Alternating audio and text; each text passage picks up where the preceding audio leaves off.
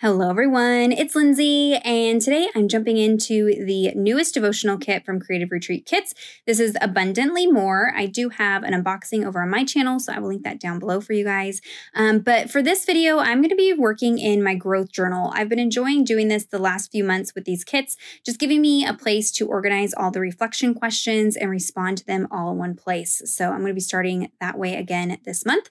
But before I start sticking things down, I wanted to have a little fun with this amazing stencil that came in the kit this month. I know a lot of you guys have gelatos and use gelatos or are curious about gelatos. I personally don't love them, but I'm going to work with them today so that you guys can have some ideas. So uh, I have three colors here. I try to pick out some iridescent ones. So this is Nebula I also have rose quartz and then I'll pull out Odyssey towards the end there. But I'm just picking up a little bit of the pigment with my baby wipe, like a very like slightly damp baby wipe, picking up the color and then applying it through the stencil. I do have a tip Tuesday all about gelatos. If you have some and are not sure how to use them or you're curious about whether you want to get some and play with them, it gives a variety of techniques for using them, um, tips, tricks, things like that. So I will link that down below for you guys. But for today, um, I wanted to keep it fairly simple, but as soon as I saw this stencil, it just made me think of mermaids, and I needed some kind of like ombre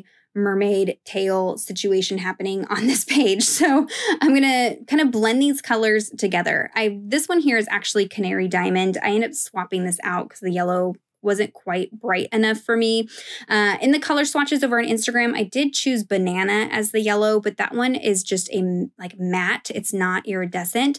And since we're going for fish scales, I wanted something iridescent. So this is Odyssey. Um, I will try to link them down below. They some of them come in packs, some of them are open stock. Um, gelatos, you just kind of have to search around um, for where to purchase them and how to purchase them. So as I'm applying this, I am letting the colors kind of blend together a little bit.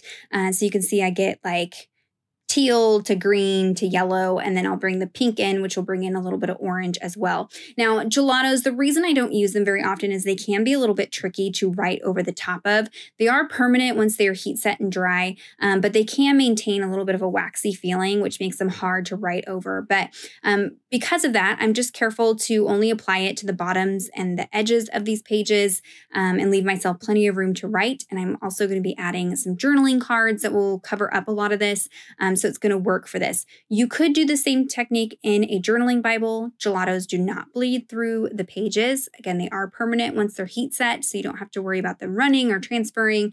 Um, but they can just be a little bit tricky to write over. Um, so you have to be careful with your pens and things like that. But for something like this, they work. And this is one of the reasons I like working in the growth journal is because it gives you space to try things out, to play with different products, play with different layouts, um, and not worry so much about things getting messed up like you would in your journaling Bible. So um, it kind of just gives you a fun place to play around, but also functional. You know, I'm going to go back and answer all of my reflection questions in here as well. So there you can see I just have kind of a fun, like rainbowy fish scale pattern going on on the bottom there. Um, again, this workbook is meant to be worked in, written in. So I'm not wanting a whole lot of artwork. I'm not wanting a whole lot of fuss when it comes to that, but it is fun to just have a little bit of color on there. I am going over with a dry paper towel just to pick up any kind of like chunks and things. Sometimes the gelatos can get a little chunky and that will transfer or kind of flake off. So you want to make sure it's nice and smooth and then heat setting it to make sure that it's permanent um, and just adhered to the page so I don't have to worry about it transferring. But because I use the iridescent gelatos, it has this really fun kind of sparkle to it. And now I can start adding in all my elements. So I did go ahead off camera and cut out a lot of these printables. This was the printable set that you can purchase in addition to the devotional kit. And then I cut out the reflection questions from the devotional booklet. Uh, you could write them out, but I just, I want to save time. I want to get straight to the study part. So I just cut them out and use those um, straight directly in my uh, growth journal. And then I'll just start adhering things down. Those labels were from the printables as well. Uh, this washi tape, if I can find it, I will link it down below. Uh, I like to add washi to some of the printables and things just to add a little bit of different texture. You'll see I'll go in with my stapler and just things like that to kind of dress up printables. I'm going to add the title of the kit up at the top here. I like to do that in my journal. That way I know um, which kit this particular layout goes with. And then I pulled out this leafy stamp from the stamp set, and it, it does have a slight curve to it.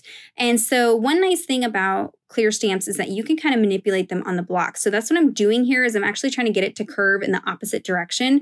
Um, but unfortunately, right as I go to stamp it down, it straightens back out because I had just washed my stamp. It was a little bit damp and not sticking to the block. And so now I'm like, well, dang it, that's not quite what I wanted. So I'm going to go in and just kind of fill in around it with the stamp. It's okay this is kind of the nice thing about working in a journal as opposed to your Bible is that when things like that happen, it's not the end of the world. It's not, you know, in your legacy Bible that you're passing down to your kids and your grandkids. It's just where my notes go. So if it's not perfect, it's not the end of the world. And I can figure that out now before I go to my Bible. And now I'll know when I go to use that stamp, I need to make sure that it's dry before I manipulate it on the stamp block. Um, you know, I can test out that gelato technique before I go into my Bible and that kind of thing. So maybe just grabbing like a lined notebook or something like that to play in um, but also have a place to answer your questions um, might be helpful if you're new to Bible journaling or if you're getting kind of frustrated with some of the products. So, this particular journal has some Bible verses already printed in it, and the Romans verse didn't quite match the devotional content. So, I just cut out a square of the printable pattern paper and then added that sticker from the sticker sheet and had a new verse that went along with the uh, kit this month. And then I'm just going in now that I have my spots kind of blocked off where I'm going to answer the questions. I can now go in and embellish a little bit more. So I brought in those fish from the printables. Um, you could do this with just the sticker sheet uh, and kind of adapt it that way, but I found it super helpful to have the printables as well. And it is nice that you can also reprint them multiple times. So if I wanted to print more labels, I could. If I wanted more journaling cards, I could, more tabs, things like that. I'm going to go ahead and add the date up here. That way I know um, which month this kit came from. And just adding some washi tape and things like that around the page to bring in some more color. Uh, there's this little texture stamp in the stamp set that you can use just like I am here as a texture, but also it works as little bubbles for the fish. So I'm just bringing in some more of that maroon color um, since I used it for the month of July. Um, just kind of spread that around. And that's pretty much going to be it. I'm going to respond to the questions off camera this time. Um, I know I filled it in last time so that you can see it all filled in, but these have some more kind of in depth questions um, that I felt like needed to be off camera. So there's a look at the layout. If you have any questions or comments, be sure to leave those down below. Check out the description box for links to everything that I mentioned today. Give this video a thumbs up if you enjoyed it and subscribe to the channel if you're not already subscribed. And until next time, thank you so much. Bye bye.